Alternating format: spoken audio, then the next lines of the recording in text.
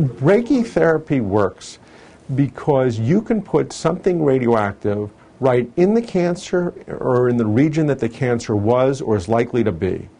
It's a way of giving localized radiation, and it's wonderful in that you can give a very high dose and the dose falls off as you move away from the area you've implanted.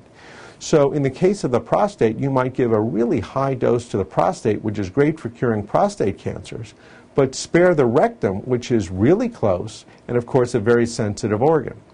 Um, brachytherapy can be used for sarcomas. Brachytherapy can be used for lung cancers. Um, brachytherapy can be used in the head and neck. Um, it's really another way of delivering radiation to a localized area. All radiation therapy is, is delivering radiation to a localized area and respecting the normal tissues so that patients do well.